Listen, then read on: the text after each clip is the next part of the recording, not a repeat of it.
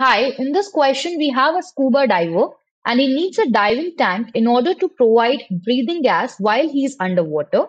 So they're asking